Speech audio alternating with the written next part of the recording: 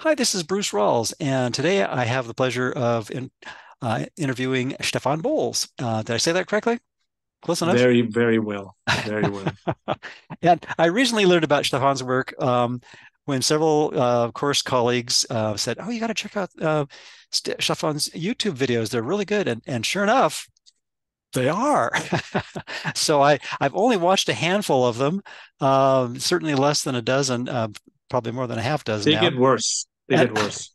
well, I'm enjoying them all very much, and I really appreciate the, you know, the depth of insights and uh, uh, the depth and breadth of what you what you cover, and uh, really nice compliment to uh, our mutual um, mentor Ken Wapnick's wonderful work. And uh, so, anyway, thank you for all those. And I'm looking forward to watching more of them. And I'll I'll put the link to uh, Stefan's YouTube channel and uh, uh his blog and Amazon Books and so forth in the, the uh, write up when I do this. So anyway, welcome, Stefan. It's, it's a pleasure to talk with you. And uh, um, maybe you could just give us a little background about how you got into the course and and anything that's pertinent to that and where else you'd like to go. How's that for open ended? Well, I said, um, you know, we have time until tomorrow, right? Yeah. it's a 16 almost. hour, it's a 16 hour Zoom call. Yeah. Maybe a little less, but uh, yeah. maybe, maybe 15 and a half. Okay. Okay. So where do I start? I think I can start with when I was in my early 20s. My 20s was, I was in a lot of pain emotional pain, not not so much physical, but emotional pain. Mm-hmm. And it came out. I was I was married. I had a son on the way. I was 22, and I was in the army in Germany in a four year contract. And I drove home one day in a Friday afternoon. I was sitting in traffic, and the question rose up, and the question was, "Is this all there is?" you know, is this all there is? Um, I'm going to be a father, which was great, and married, and we had a good relationship with my wife's parents and everybody. So, but I had this nagging sense of something was missing, and I couldn't quite grasp it. Um, and then one thing led to another. I, a friend of mine gave me a no, I read uh, a friend of mine gave me a book by J, uh, Dr. James, Dr. Joseph Murphy, the the power of your subconscious, hmm. and I read it. That was in the uh, that was in the early early nineties. I read it, and you know, it was like the subconscious. You can program your subconscious about things, and then whatever. And one of them was if you program your subconscious, you can wake up at seven o'clock in the morning you will wake up exactly at seven o'clock. So I did that. And I was, I woke up exactly at the time that I thought I would wake up. Mm-hmm. And I was hooked. So I read everything you can possibly read creative visualization, um, everything you you name it, you know, Reiki, Bach flowers, any, anything and everything I could find on the New Age market. And then I ordered a book that was called um, the heart, the heart of healing is the English title. Um, Love heals is the German title, and in my uh, local library, uh, the wrong book came. And, uh, sorry, there was a different book I ordered, but this book came. The Heart of Healing came, and I wanted to send it back, and then I started reading in it, and there were quotes from the course in it. I think they it was written in the a little bit after the course came out. I think it was written in the late 70s or early 80s, Tube Psychologists. And I read the quote, um, you have no idea of the, um, you don't know how much your father loves you because the love in this world, you can't, you can't even grasp the, the love that your father has for you in heaven. And I, I was sobbing but I was sitting at the table sobbing, and there were probably 10 quotes in the course, and I just basically underlined all the quotes, and I was trying to figure out what that book is. Because there was nothing in Germany.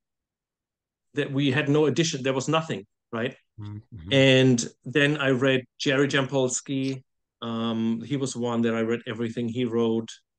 And then later on, obviously, Marianne Williamson was one of them and then I got the first 150 lessons um, on the black market, you know, translated somewhere in Siberia, you know, moved over here to Germany, whatever, with a courier, you know, stuff like that. Um, burned course, pages through course know, mules, like, right? exactly. Yeah, secreted exactly. them in. Yeah, yeah, yeah. It, it, yeah. You know, it was a it was a clandestine uh, operation for sure. So I read those, and I got the English. I got the English original version of the course that I still have and I tried to translate the first 50 miracle principles into German. Mm-hmm. I had I had so little clue. I had negative clue of what it said. You know what I mean? I was like, mm-hmm. what even what even is this? I, I have no clue at all what this means, but I knew this was my path. Yeah. And that was very strange. I was lying on my bed, I had the course on my on my chest, and I, I knew I said, This is my path. I don't know. I don't know what it is. I don't know what it says. And I was that was I was 26, I think. And then I gave away all my other books. You know, the all the ones that I read, I, I gave them to friends. And I started translating. And then the next thing I got was Absence from Felicity, Ken's book. And I started translating that. That was a little easier, you know, because it was kind of Ken's talking about Helen and Bill and mm-hmm. stuff. And mm-hmm in the meantime, sorry, let me know. Yeah, yeah, exactly. That was a beautiful. I mean, that's that's like second, you know, below the chorus is, is absence from felicity. It's right there, you know, with how it all began. And in the meantime, I was sending cookies to the to the publisher who was translating the course into German to to tell the translators, hey, hurry up, buddy, you know, or whatever translator, hurry up and get it get it out. So I landed on their mailing list. And long story short, I got an invitation in the mail to go to Turkey on a on a seminar that Frankita Kantani did. She was one of the translators. Mm-hmm, mm-hmm. And I went there and the rest, you know, basically then she introduced me to Ken and um, Ken and Gloria did a tour in Germany when the course came out in 94 and Frankita was one of the translators, so I was there um, in Frankfurt and just you know meeting Ken and Gloria, and we we didn't really have a conversation or anything. It was just hi, but I knew I wanted to go to the foundation, you know, in Roscoe. Mm-hmm. So I saved money and and all that, and I went there in '96 for three months and spent time there, and then I met my now ex-wife. We moved to Woodstock, New York, and the rest. Now I'm here you know 27 years later um anyway so that's the the short version of it very good very good yeah a lot of familiar names and and connections there for sure yeah yeah my, my mom had a huge metaphysical library and among the many books in her library was uh, the three volumes of the course at the time oh. and uh, back in the the well late 70s into early 80s and uh, fi- finally cracked them open mid 80s and and picked up Gary's. This is a very condensed version of my, you know, right, right, story. right, right. Uh, and then let's see, I guess it was um, 2004. I picked up uh, Disappearance of the Universe, and I said, I've got to get back into the course. and uh, right, and been it's cool straight ahead yeah so yeah a lot, lot, of overlaps and and I, I, helped with the FIP website so Francita is a familiar name having oh, uh, learned about wow. all the translators yeah yeah yeah some a few years back. Yeah. yeah. she spent. She said so. There was this one one moment. Um, I was actually we hit it off so much. She was twenty years older than me. She was. I adopted her as my spiritual mother, yeah. or at least older sister. Um, but she we hit it off in Turkey, and I must have had a natural, very basic understanding of the material. Not as as now, but for back then, it was I I I kind of knew roughly what it said, at least for the beginning stages of the process. Mm-hmm. And she invited me to do some workshops with her. So I did. I went. We went to Switzerland. Um, we visited Marisa. No, just kidding. That was that was later. Um, but I went to Zurich actually in a couple of workshops, and then in Germany, and um, with her. And we were one night. We were. I, I think it was in a hotel room or something. We were listening to Ken's one of Ken's tapes, and it was the very early, the beginning. I know I remember the meaning of judgment uh, either the meaning of no the the lesson. Um, I want the peace of God. It was one single tape. Usually he has two, three, four, 10, 20, 4,000, you know, tapes in one in mm-hmm. one package, mm-hmm. but it was one single tape. And we listened to it and we both looked at each other and we it something clicked.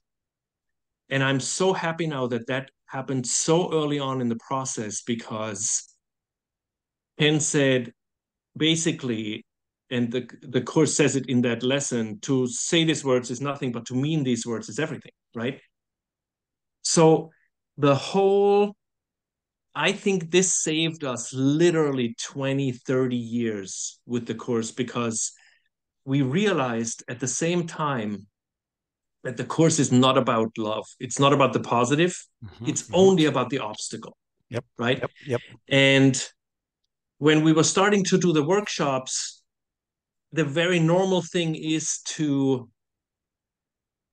talk about the oneness and the love and the you know the unity and all this stuff because it's so, such a beautiful thing in the course right and but we realized and and frankita said oh my god i have to go back through the whole translation now and look at it with this mm-hmm. with i with this in mind mm-hmm.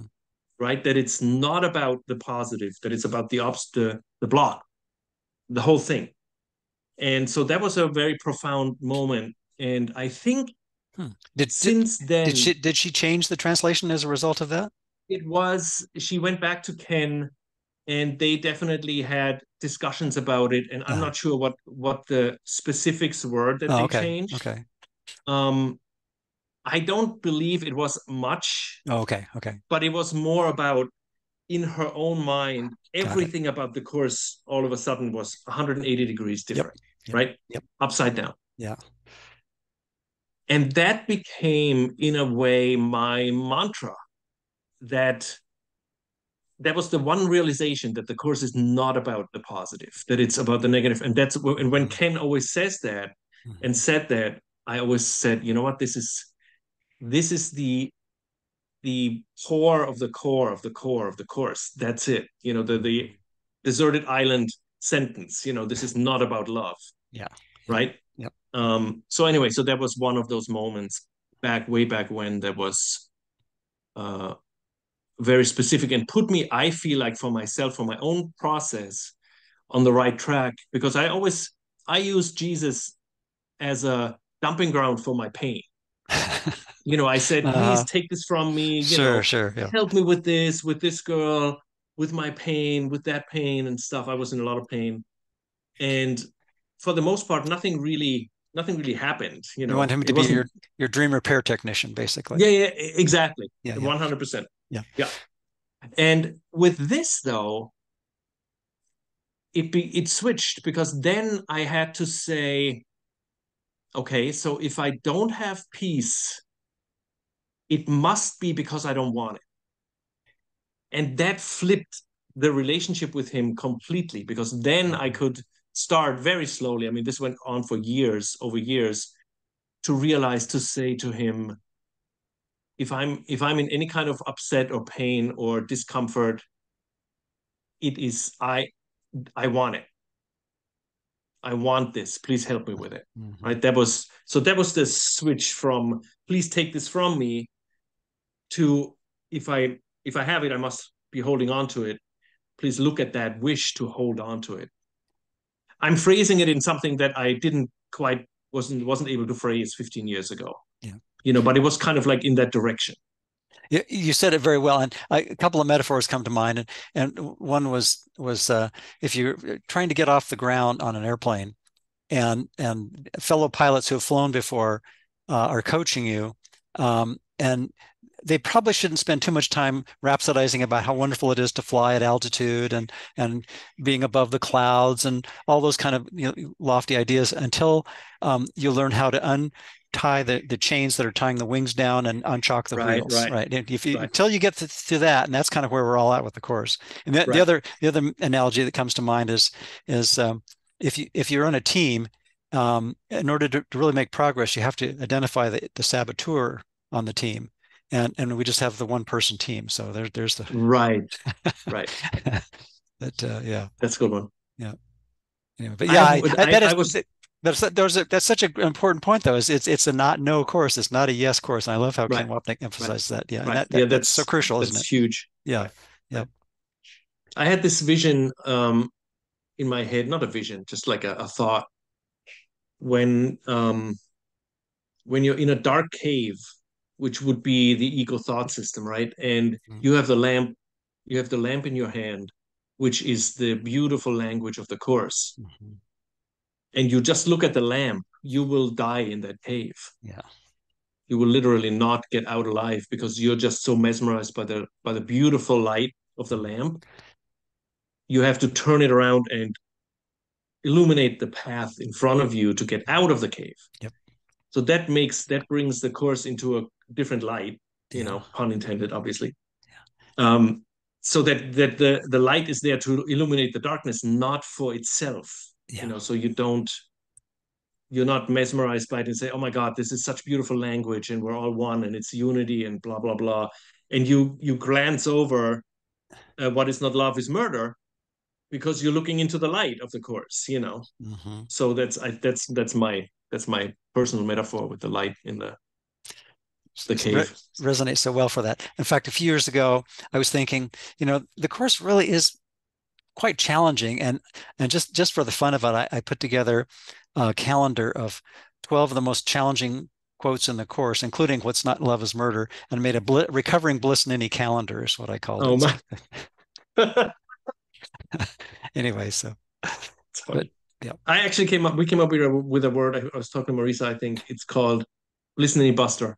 Oh, there we go. There we go. Yeah, it's like the blame thrower. Yeah, yeah. different different bullets. Exactly. Exactly. Yeah. it's funny. But then on the other hand, you know, I feel I feel very I feel a lot of compassion for the path because just to pick up this book even though you don't know what it is i and you you feel some connection to it and part of us must feel that this is going to get rough. Mm-hmm.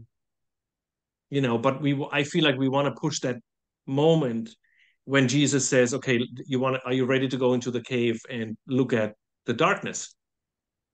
We want to push that moment out because we you know part of us as the course says you don't want peace. You don't want to go into that cave and look at the fear of god you know our our belief in sin and guilt and what is not love is murder within us so we want to push it out but it's all we're we're defending against i was just reading this um, this morning we're defending as you know against something that we know so well it says, um, if you would look upon love, which is the world's reality, how could you do better than to recognize in every defense against it the underlying appeal for it? Mm-hmm, mm-hmm. Right. So, however, wherever we are with the course,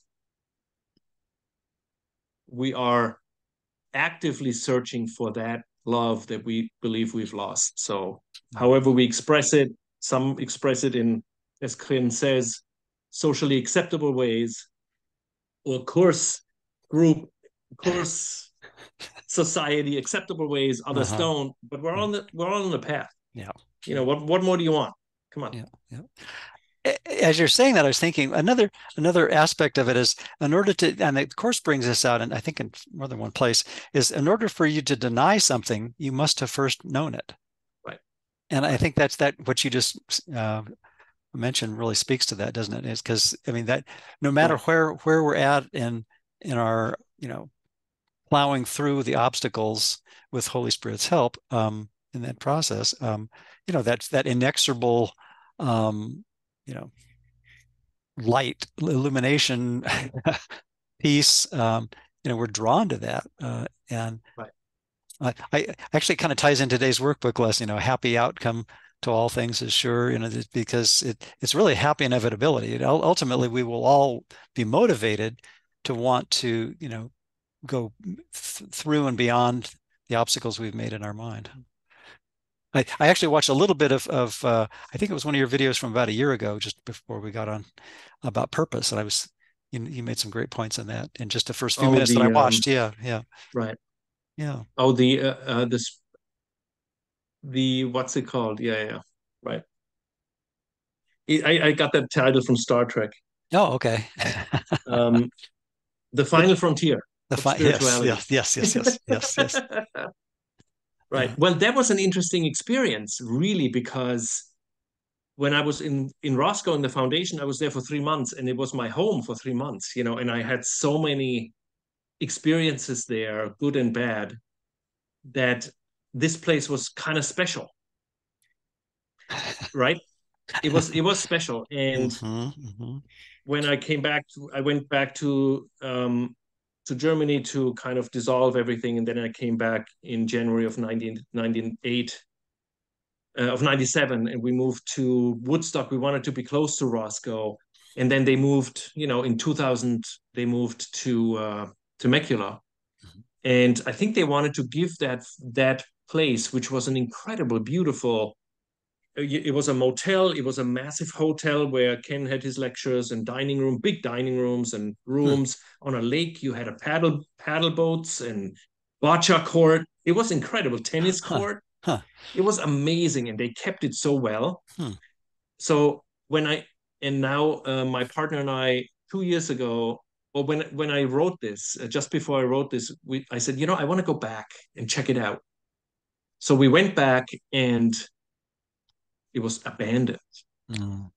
the weeds came through the pavement i was going i was leaning to at the door to the big um, hotel building where we had the lectures and you could smell the mold through mm. the door mm. and my room when i was in this little motel building it was i mean it was literally abandoned and it was starting to to deteriorate really fast and i realized nothing survives its purpose mm-hmm. You kind know that lesson 182 about you know our childhood home you know is now a distorted at best memory kind of thing. Right. Yeah right. yeah. Yeah.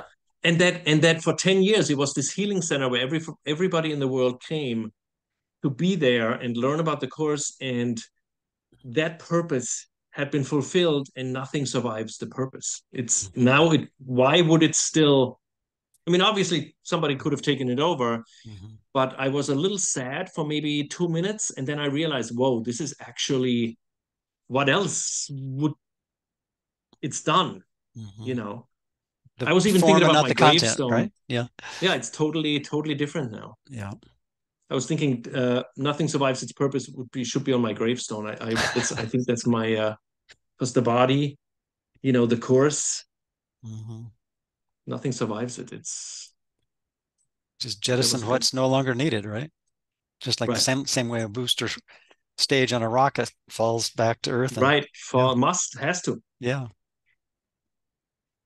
Yeah. Sometimes I think mm-hmm. about um, practicing forgiveness is sort of like reaching escape velocity for the mind. Speaking of rocket metaphors. yeah. Right. Yeah. I feel I I feel practicing forgiveness is you're in not quite quicksand, but your your head is barely above water. That's my uh that's my view of forgiveness because it's it's the you know it happens at looking at the ego you know at the darkness of the ego so you're in the mud in the midst of it you're not mm-hmm. it's not a happy place you know it's a it's a very challenging place to be in. That moment when you look at the ego and say oh, oh whoa this is what i'm doing you know mm-hmm. or this is what i'm thinking and then grab jesus's hand and sometimes you feel a little bit lighter and other times you don't you know you just keep keep going keep doing it keep doing it. Like wh- who said that when you're when you find yourself in hell keep going? I don't know who said some president roosevelt or something yeah. i don't know oh, okay I somehow that reminds me of the uh, another silly saying is when you find that you're up to your ass in alligators, it's important to remember that your original objective was to drain the swamp. That's very good.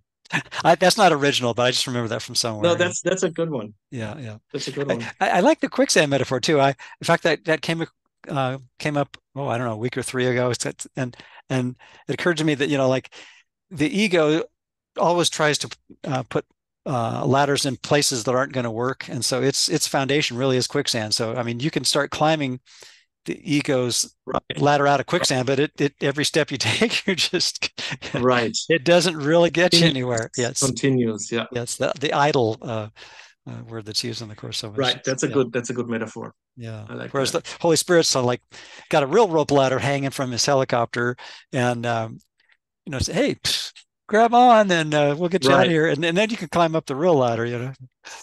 Yeah. Actually, what I would say. Yeah.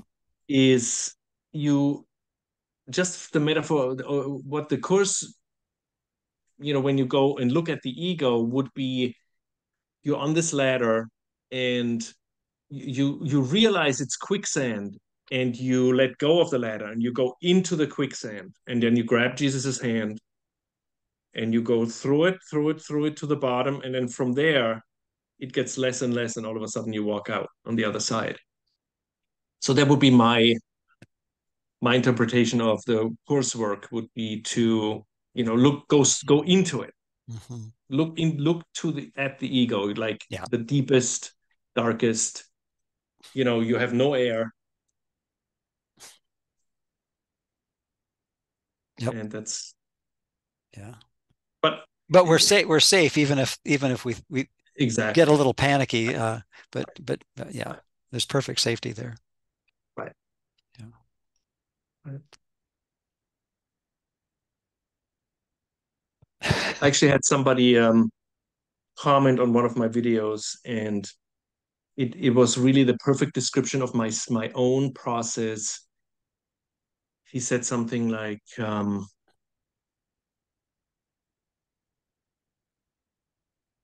"It's almost it, to to sum it up. I will never be able to overcome the separation, or I feel like I will never be able to overcome the separation, and the ego is too big, and the judgment is just too all-encompassing." And I know that I know that state very well. That uh, I think at sometimes it is impossible to get out, and I realized over time, no, whatever the words are, nothing nothing works on that mm-hmm. because that you're in you're in it right you you see the judgment all around you and you're like there's no way out and the only real thing that helps at that moment for me was to or is to take Jesus's hand and just stay with that sense of doom mm-hmm. with Jesus. Mm-hmm. And not try to get out or not try to change it or not to try to feel better or anything like that. Just stay in it. Stay with the pain as whatever that person said, Yogananda or something. Uh, stay with the pain take Jesus by the hand and stop there. Don't try anything. Don't don't try to get out. You know, don't try to escape the pain. Mm-hmm. Just stay there with Jesus. And that's for me the core of looking. To stay in that in that moment. Not for like hours and hours, like mm-hmm. five minutes, right? Or whatever, however long. Stay with it. Sometimes just a few that, seconds will do it. It seems like a few seconds. Yeah, right. yeah. But just being being willing to suspend the need to to be out of that situation. I I think the quick it kind of fits that quicksand metaphor really nicely now that I think of it because if you thrash around in quicksand, it's just going to get worse, you know. Whereas if you just right, it's okay. Just like like I, you like you did, yeah, yeah, with your AI, you know, just like just floating on the ocean, you know yeah we we need uh, alternate in, intelligence uh, to, instead instead of the one that we made up right yeah. right right i've actually i've actually uh, in a previous course conversation I, I, I we were talking about the happy dream and i i looked on the facing page and this is one of my favorite quotes and that says uh, it is very hard for you to realize it is not personally insulting that your contributions in the Holy Spirit right. are extre- so extremely disproportionate. You are still convinced that your understanding is a powerful contribution to the truth and makes it what it is. And and I think that the kicking back and floating is sort of like, okay, my interpretations, my contributions haven't got me out of this ego right. quicksand. Right. I, I need some help and just the pausing. And I and I want to commend you on on your videos. Um, um, a lot of times, I have a tendency to just kind of ramble on, but I like the way you take appropriate pauses and kind of let you know the ideas kind of sink in and percolate a little bit. Yeah. So thank you. thank you. Yeah. I was just thinking about something that Ken um, said in one of many of his workshops. One particular, he said, "Don't work on it." Yeah. And you know that seems so counterintuitive to anything he he says all the other 10,000 minutes that he has a workshop and then one minute he says don't work on it like, and um and i think i want to do a segment about it because it's it's seems so contradictory but that's the thing with the quicksand you know don't work on it is if you're in the midst of the ego mm-hmm. If you're in a full-blown ego attack there's there you cannot get out. There is nothing to do. Mm-hmm. you can try anything you want you know. But it, the, the best thing is to stop. Like you know like a goat the goat runs and all of a sudden falls over like right? It's like totally stiff. So if you do that in quicksand you don't you stop right? You stop going down. It's like if you stop thrashing you're kind of still and you're kind of suspended mm-hmm. and i don't know if that's a good example but i feel like that don't don't work on it yeah. just look at it the, the working implies a lack and a deficiency right which is the, the ego's only perspective on anything, right? That I, I right. separation happened, I pulled this off, I've right. I've I've committed this impossible crime, so therefore now I'm guilty. So the only thing I can do as an ego is to work on it. You know? Right.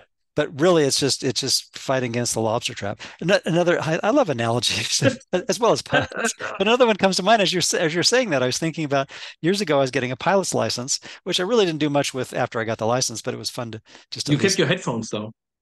Uh, no, these are different. These are different. Oh, way way different. But but uh, I remember my instructor was saying, "Okay, now we're going to um, go out into this area of Central California where I was living at the time and practice departure stalls." I said, "Okay, sure."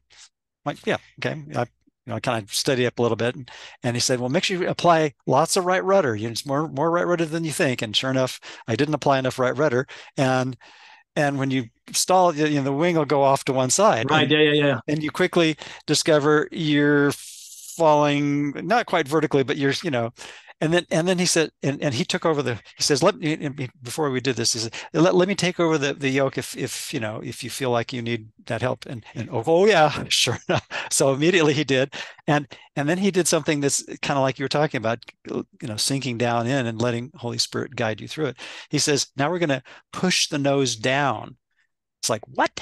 You know, we're already right. going almost straight down. Right. Now, we, now we're going to go more down? And he said, yes, because you get need to get airflow back over the wings and then gradually apply power until you can pull it out. And then otherwise you go into a flat spin and there's no recovering from that.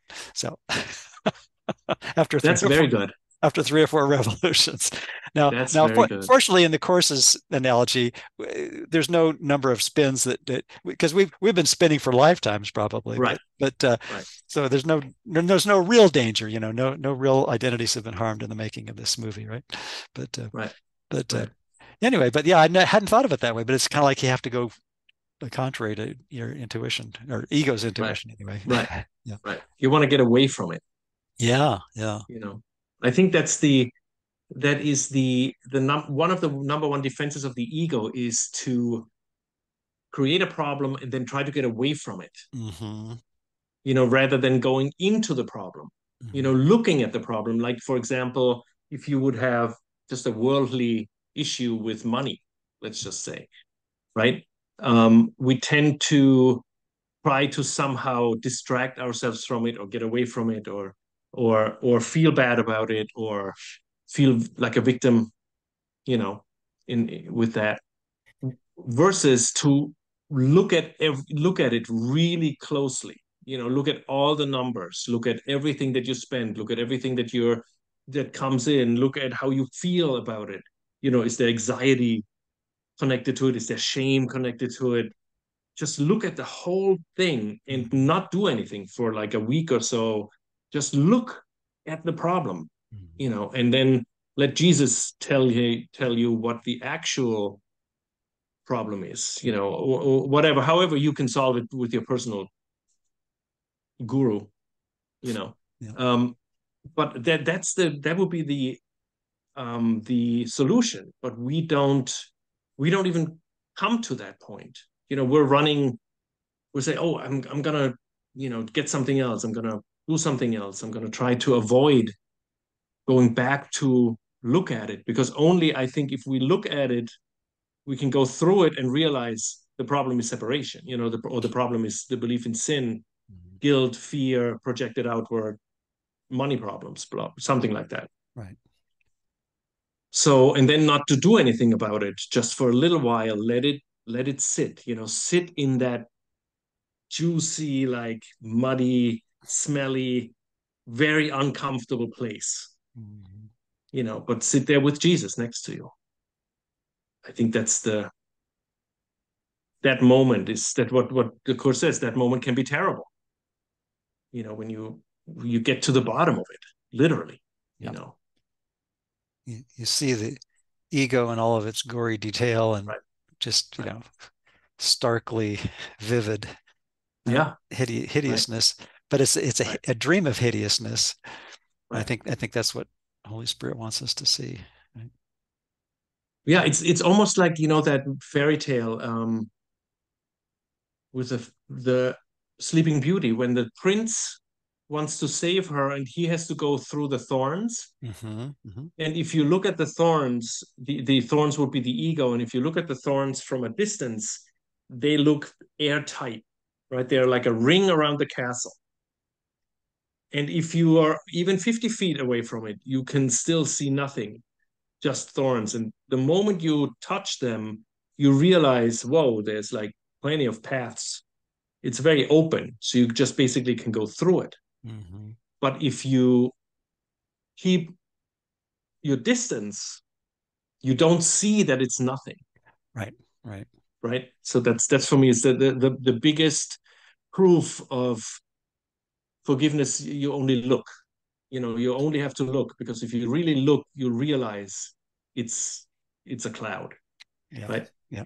Exactly. Right. It starts to vaporize. Yeah. Right. Yeah. Right. Seems like light years thick granite, steel, reinforced exactly concrete, whatever you know, and you know, yeah. impenetrable mountain fortress kind of thing. But no, right. it's it's all no. E- even physics tells us it's mostly empty space. You know, exactly. I remember my high school uh, physics teacher saying, you know, that if you take a, an atom and make the the uh, nucleus the size of a, a soccer ball, the the nearest electron is four miles away. That, that's a lot of empty right. space. Hello. Whole lot of nothing going on. Nothing. Exactly. Yeah. yeah. right. Yeah. That's good. Yeah, and you, you, you, I think you remind me of uh, was it lesson seventy nine and eighty? You know, let me recognize yeah. my problem so it can be solved, and then the next page, let me recognize my problems have been solved. Well, I have to, solved. but but ha- we have to look at it first. We have to, right. you know, spend whatever time is necessary with Holy Spirit to to say, okay, I'm not seeing this, you know, my way out of this by myself. Right. Right. And the other thing is that the problem, there's this one thing that I was thinking about um, called guilt shadow. I think it's in the uh, in one of the pamphlets, psycho- psychotherapy, I think. Guilt shadow. So the problem would be the shadow of the guilt in the mind. Hmm. So it's really not, you know, let me let me recognize the problem, which is the belief in sin, you know, that that right. deep, extensive belief that we killed God. That's the that's always the problem for anything. Mm-hmm. You know, and I, I, realized the last two years when I did the YouTube channel and kind of prepared for the sessions that the separation isn't really the problem. Yeah. Yeah. It's weird, you know, because the separation itself is nothing. It's mm-hmm. like, okay, so there's there's the thought of separation, and then the Holy Spirit says, there's no separation. And then the Son of God would say, yeah, you're right. There, there, there can't be any separation. It's, it's nothing, right? And then the sin comes into play, and the sin is this like thousand pound bag that all of a sudden sits on the shoulder and is like, you know, and then to get under out of that and to say separation is nothing, right? You can't do it. It's like the sin is is what what really makes it. That's why the the the the it's the the citadel, you know, the ego's citadel mm-hmm. is the mm-hmm. belief in sin. That yep, is yep. its bread and butter. Without that, it's like eh, there's no real separation is nothing right I, I love that metaphor and I, am I'm, I'm going to add to it the citadel with the moat with the thorns and the, the all the, the, the guard dogs and the lasers and the tanks right. whatever armaments and and yeah and and uh, militia and and uh, what's the other term uh, ordnance we can throw you know it, its way to try to protect it that's right. that's all the, the outer shield of oblivion is is you know getting into the castle and then right. then the inner shield of oblivion would be like okay we made it so far into the castle and we realize okay I've stopped firing my blame thrower. Now I can now I can um, you know concentrate on what's inside the castle, inside my mind, and see that well maybe maybe there's someplace I haven't looked. And high up in the castle castle keep, behind a, a locked in a locked vault behind multiple doors, kind of like the Get Smart sequence. You ever saw that show with all the doors? Right. right. Finally, you get to the, the the most innermost sanctum sanctorum in the castle keep, and and there's Ken's blue dot, and and slowly sliding off the. yes, yes, and and and the, on the blue dot it says, the problem wasn't outside the castle. The problem wasn't right. inside the castle. The problem was the belief in the castle. You know, right? Yeah, the, the belief right. in the ego. Yeah, yeah, right. Yeah, yeah. That that's so helpful, isn't it? I, I, uh, another course colleague mentioned mentioned that a year or so ago, and I thought, yeah, that's really it. Because we're, I mean, we spend so much time with the outer shield of oblivion.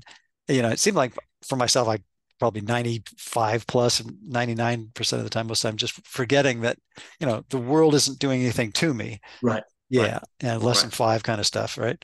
And i'm never upset the reason i think. I oh yeah that's right it's not out there. And so then it's like okay well now where does all the guilt go? Ah back back inside. Right and right. now they got got to apply 34 and say well i could see peace instead of seeing the guilt. Um and i need and i need holy spirit's help to look at both of those seeming sides of things. But right, then, right. And the third step is like, oh, if I've revealed that it's not outside and I've released the guilt from the inside as well, then the replacement's automatic. And that's why there's right. nothing that needs to be done. I don't have to work at it. Yeah. Right. Yeah. I, I really like the way you, you phrase that, you know, about, about not needing to work because right. I, I can relate to that. I, I, know. Now that you're retired down. in Arizona, it's like, yeah, oh. yeah. Well, al- almost retired, but, but close enough, I guess. Right. Right. Yeah. yeah. Well, the thing that really the thing to work on would be to identify. Yeah.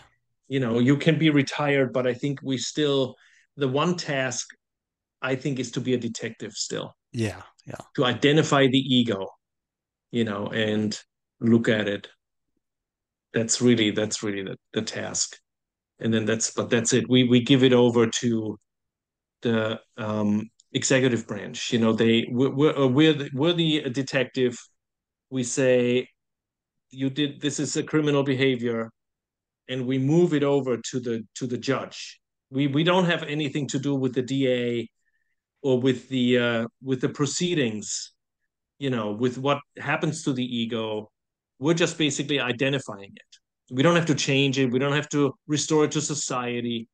You know, we just basically identify it. You so know, we're like Inspector Clouseau. Does that, Clouseau. Yeah. Yeah, the, the Pink Panther.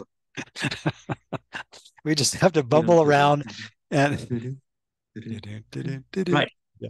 It doesn't work doesn't work on Zoom to, to synchronize our singing, but oh yeah. but it's fun to try. Yeah. Yeah, yeah. I like the detective too. That's that's a great metaphor. I, will have to get one of those detective hats and yeah, yeah, exactly. Eyeglass. That's it. Yeah, yeah, yeah. That's it. Because they don't. We don't. You know, we don't judge. There's no judgment.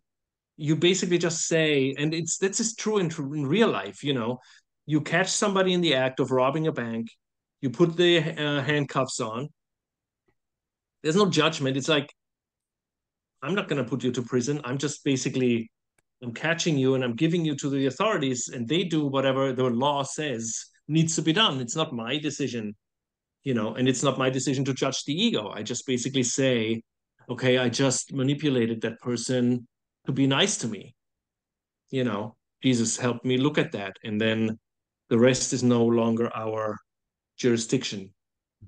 It's it's out of our hands. You know, it's not we don't have to linger on it or try to change it or um, try to maybe even make up for it. I had this this thing the other day, and I can't remember what it was, where I thought I should um, I should make up for it and write somebody a, a, client or something. I forgot to do something, and I I thought I should write this client an, a text immediately and say, oh, you know, I did this wrong and blah blah blah whatever. And I wanted to write it, and then I stopped and realized um, the you should I don't know what the quote is. You shouldn't try to say you're you're innocent by yourself. You shouldn't. That's not your job. Mm-hmm, mm-hmm. I can't remember what it is, but I basically it's basically you don't have to be clean before you go into the shower. You go into the shower to be clean. So right, right, right. you you wait. Don't apologize or or say I'm sorry before you check back with Jesus to tell you you're innocent. Yeah.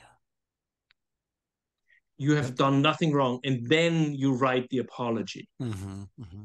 But don't write the apology to get out of the guilt, to make up for the guilt. Because if you make up for the guilt, the guilt is real, yeah. right? The ego is real. The ego says, "Yeah, come on, make up for it." You know, write a nice letter that says, "I'm so sorry." So you can do that, but he, you know, to do it first, check with Jesus. Make sure you ha- get at least one instant that you know you're innocent. Mm-hmm. Whatever you write doesn't matter. You're innocent. Whatever you just did, and then you can write it. You know, then you write the text or write the sorry note or whatever it was. So you don't do it yourself. You don't try to get out of guilt you, on your own. Mm-hmm. you know so that's always a a thing. That's that's really helpful. Yeah really helpful. Because it, it's sort of like it remind me it's like we, we have to deal with the content before we deal with the form. Yeah. Right. Yeah. Right yeah.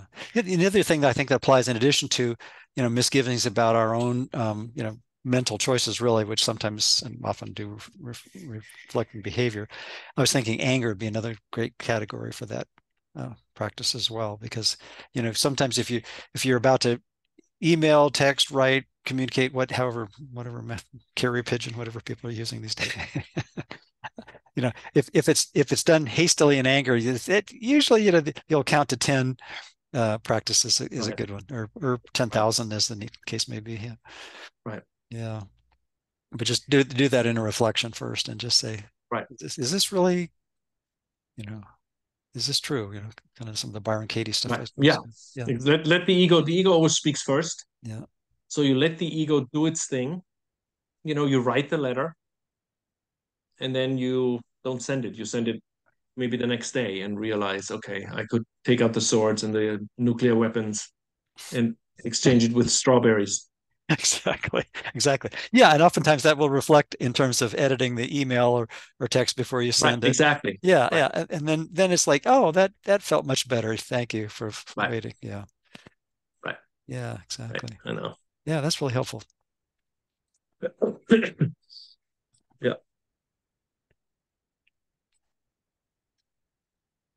so we have 14 hours to go 14 oh 14 hours. Oh gosh. Well let's see what uh, we could we could start going through the, the book uh, chapter by chapter.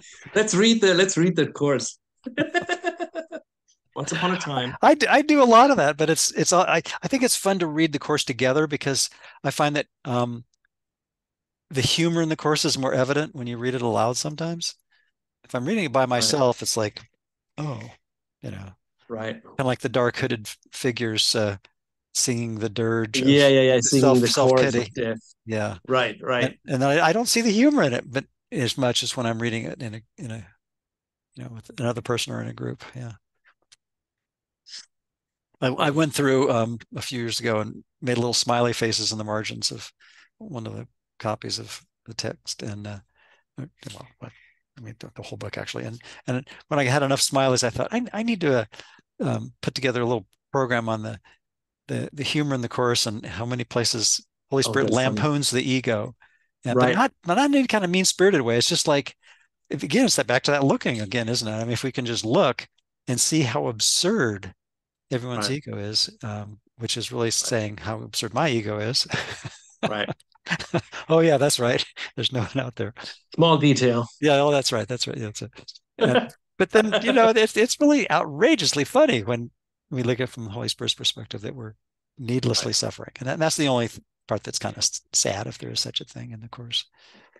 Is that the tragic? The yeah, tragedy. we're just we're needlessly delaying and and uh, right. you know needlessly resisting the peace that's potential.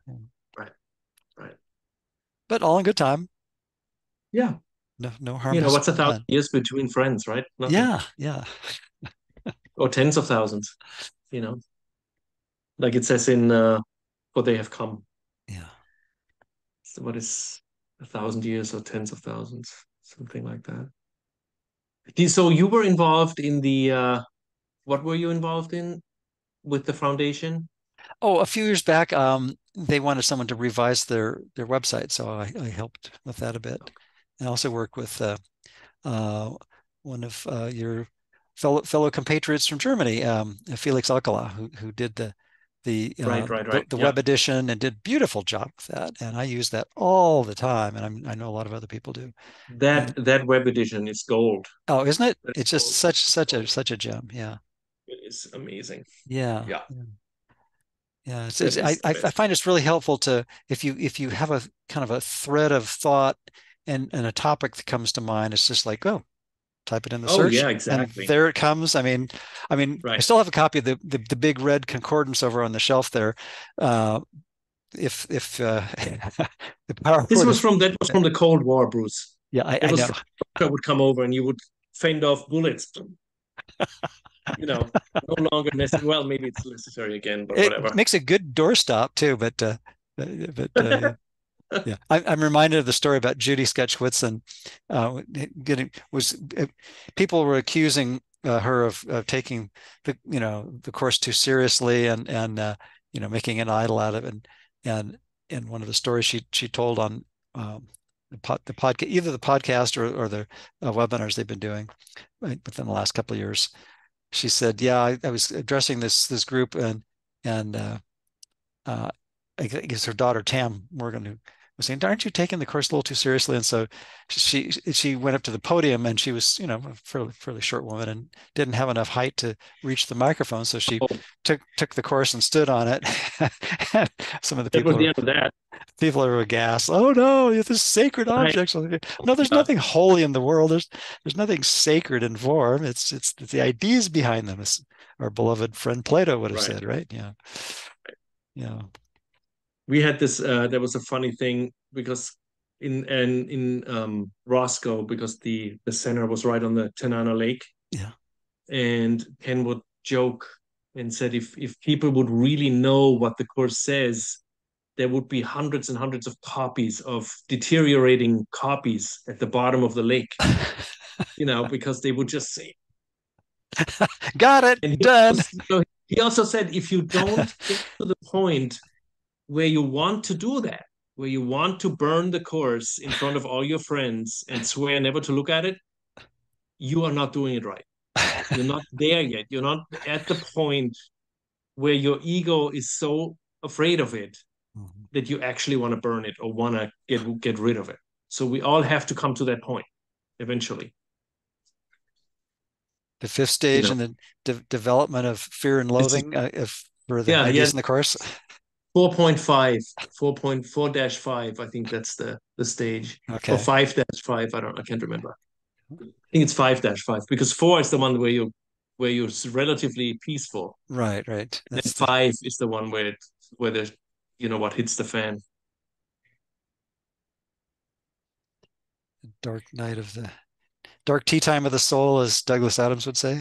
dark, dark guy. yeah. Just think 42 whenever you're in trouble. Exactly. You know, 42. Exactly. Yeah. And get your towel ready and you're good. I forgot about the towel. Yes, the yes. Towel. Yeah. My God. You know? When I was in my 20s, we did, we tried to recreate a lot of the things that you could do with a towel because we were so into Douglas Adams. Yeah. And we were like, oh my God, he's so right. Because you could use the towel for so many things like, you know, a sling or to sleep on it or as a blanket or as a neck warmer or neck cooler or I mean, there's so many, so many things you can use it's it versatile, isn't it? Yes. It's, it's brilliant. It's so brilliant. I'm reflecting on another one of his his books where I think it was after the the trilogy of four books, perhaps, but uh, maybe not. But uh, um, where he talked about the the planet where um, the extraterrestrials were hovering above this planet for millennia, but they they weren't. That no one suspected on that lived on the planet that they were there because no one even considered the idea of looking up. So yeah, I right. always thought that was clever, you know. But that's that's kind of like what we're you know it is the same if, if you think about ken's chart you know we've got we, right. we never we never think to look up into the mind right. it's like what right. what what's this mind stuff go away go away tell me about something else yeah yeah i mean re, re, seriously if somebody on cnn would say hey reports came out that if you're upset about your neighbor you're really projecting your own guilt. I mean, who would who would it's film so at 11 far, film at 11 huh? Right yeah you, you, you wouldn't you would say what the hell are they you know the whole country would be in or if biden would say that you know.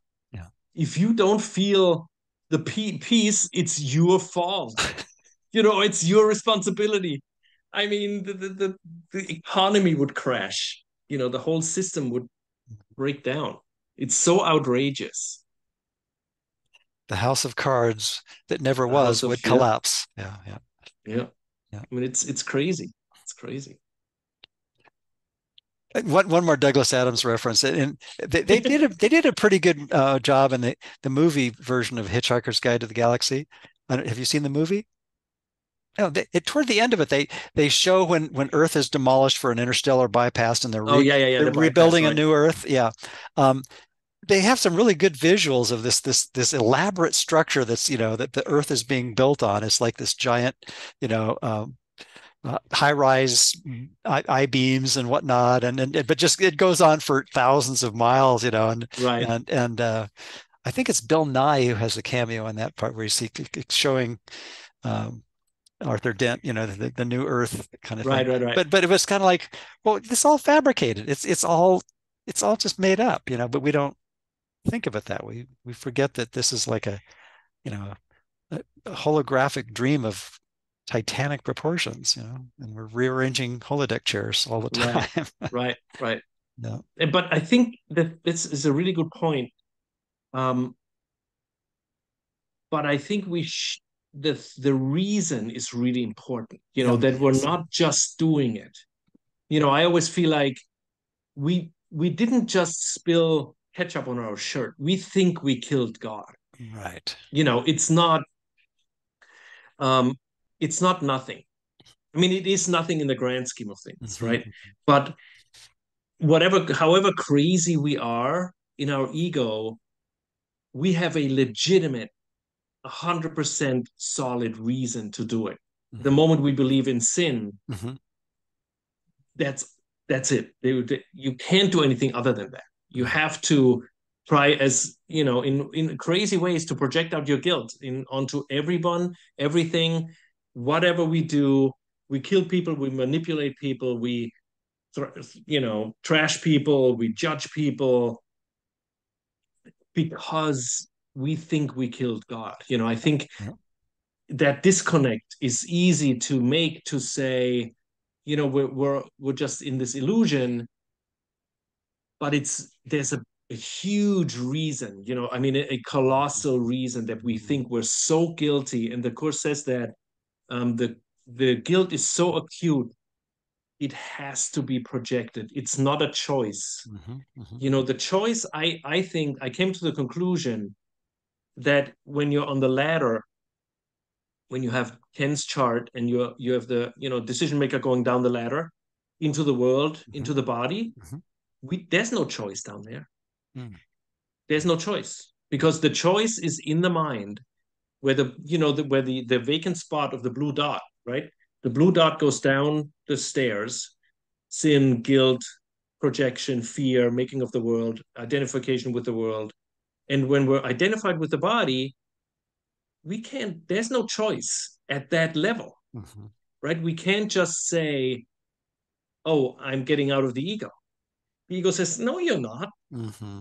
what are you talking about? You you can't get out it's foolproof but up. not god proof right? right it's foolproof right yeah. and so we have to get back up you know we have to go up the ladder mm-hmm. and eventually we'll get to the point where we can actually make a choice for the holy spirit um, that's why that line um, if you what, saying those words is nothing and meaning those words is everything i want the peace of god because when we're in the world in the body we can say i want out of the ego nothing happens. We're not really getting out of the ego. You know i i say i want to i want to be less conflicted. I want to have more peace.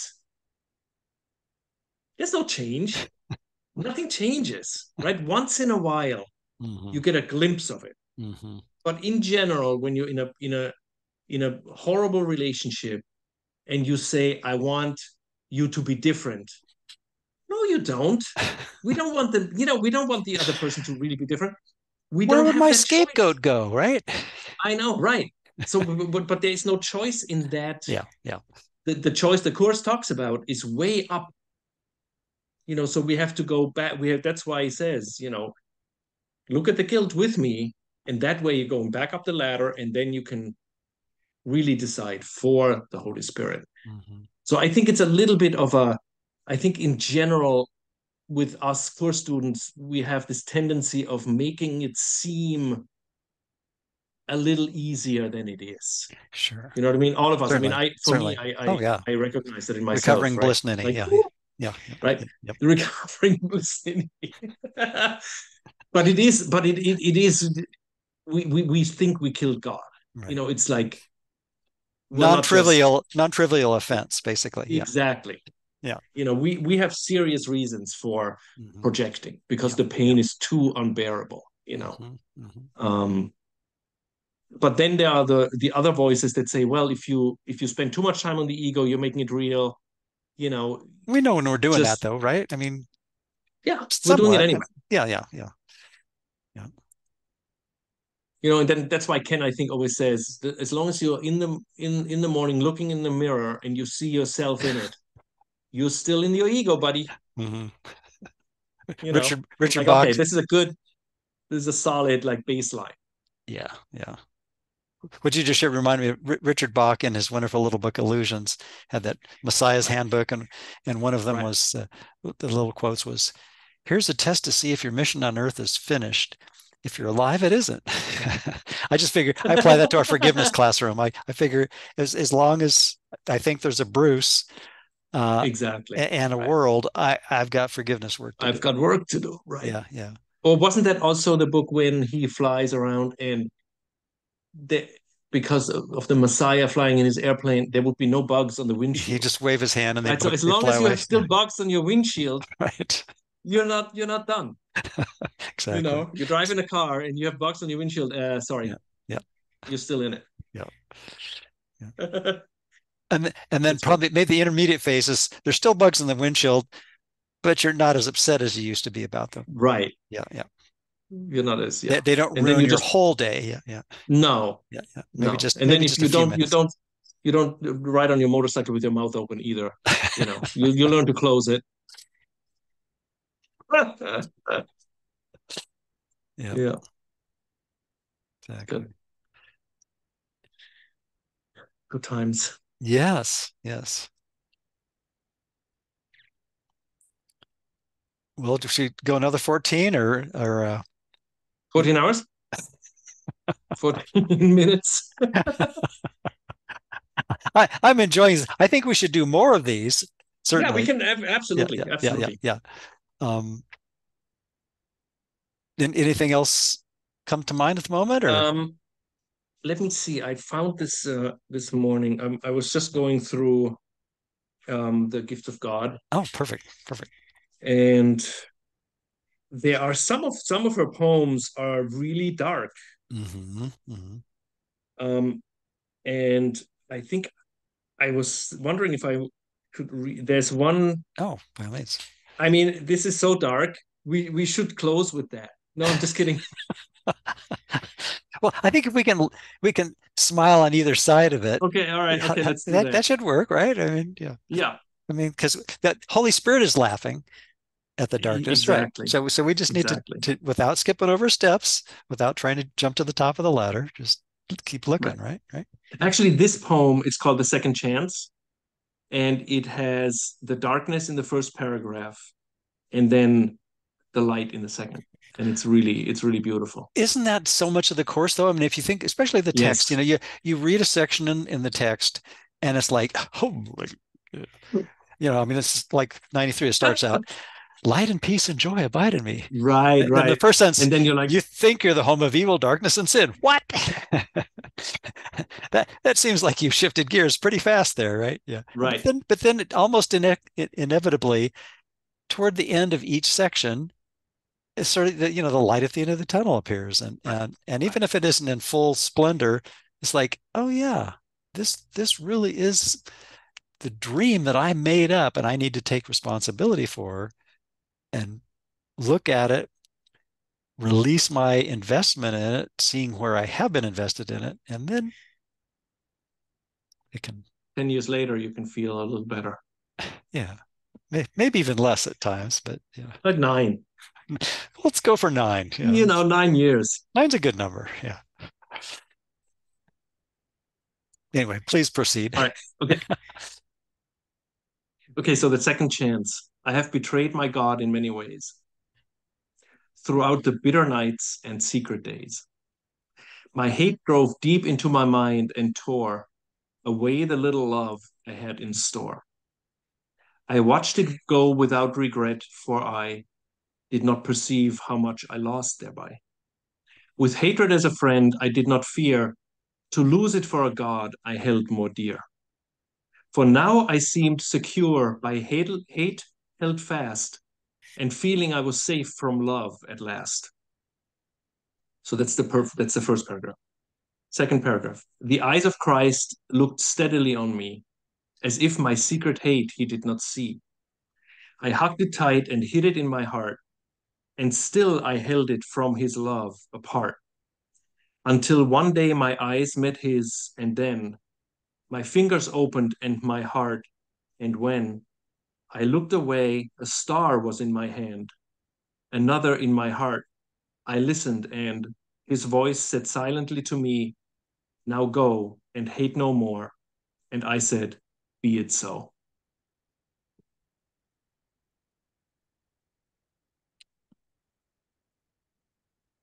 Lovely. Beautiful. Yeah, it really is. Really is. Yeah. Yeah. For some reason, in that first part, um, the uh, the part where we think we've dealt with the problem, I don't know, just what flashed in my mind is the the old Wile E. Coyote Roadrunner cartoons. If you ever seen those, yeah, and and uh, you know Wile E. Coyote thinks he's planted this he orders this explosives from acme company and he's right, gonna, right, right. gonna dynamite the roadrunner. And he's like okay now, I'm, now i've got this solved and i can walk away from this and and come back and have a uh, roadrunner feast or whatever. But it always backfires you know it's like the, the, ideas don't leave their source. Right. The, the explosives never leave Wile E. coyote's mind right. and, that's a brilliant brilliant uh, analogy. Yeah, yeah. right Right. But uh, we all keep trying it. You know, we, we keep thinking if I keep projecting in just the right way, maybe I can find a combination that will right, right, absolve me from right. this unconscious guilt. That's unfounded, but I, I haven't seen that. Yeah. Yeah, that's great. And but you know, the blessing is there, you know, this the silver lining after we look, like you say. Right. Yeah. And that's I think that's that question to ask Jesus, you know, if we have any kind of problem and we we take the problem back to the cause which is the belief in sin right and with when we look at that and say, okay, if the problem is not the outside, if the problem is my belief in sin, then I can go to Jesus and ask him, Am I really sinful? Mm-hmm. Is it really true that I have sinned? Right? And let the question stand and let Jesus answer, maybe not the same day, but that question is what the ego wants to blot out. You know, that question, Am I really sinful? Because its its foundation is based on us accepting this belief that we are right? So if we bring everything back that we have issues with the neighbor upstairs or health or money or whatever, bring it back to the belief in sin and then ask Jesus, is this really true? You know, can this be true that I'm actually sinful? And the answer must be no. Right? The, Jesus' answer has always been no. And however we get that answer, you know, in our own framework, Mm-hmm. But I think that question is really important. Is are am I really sinful? You know, bring everything back to that one question. That's kind of the the simplified uh, process. You know, we have a problem in the world, we bring it back to our sin, and then ask Jesus the question: Are we really sinful? Because if the sin is gone, the problem is gone. No foundation left. Yeah, foundation is gone. Yeah, yeah. So I find that helpful to just ask: Is can it be? You know, can it be that I'm sinful? That's a great rhetorical question, isn't it? Right, right. Yeah, yeah, yeah. And it, it all distills down to that, doesn't it? Yeah. Yeah, that's yeah, it. It's like, yeah. can, really, can it be? Can it be? And that's why all those beautiful passages really say no. You cannot be sinful. Mm-hmm. All the the whole course, right? mm-hmm. says that in one way or another. And and it's the contrast. It's bringing the the, right. the, the sinful ideas out of the closet, juxtaposing them right next to the Holy Spirit's rebuttal, and saying, you know, when you put them side by side, ego's hmm. propaganda just doesn't cut it. Doesn't hold up. Doesn't yep. hold up. Exactly. Right. Yeah. Right. Yeah. It seems like it's that reluctance to drag every last thing out of the closet. I know. Yeah. Yeah. I know. But we will sooner or later. Yeah, we'll, we'll want to. We'll, we'll be motivated, right? Yeah, we can get some ice cream in the meantime. some cheesecake. I think there's a little know. left in the freezer. Yeah. Oh, there you go. Yeah. Well.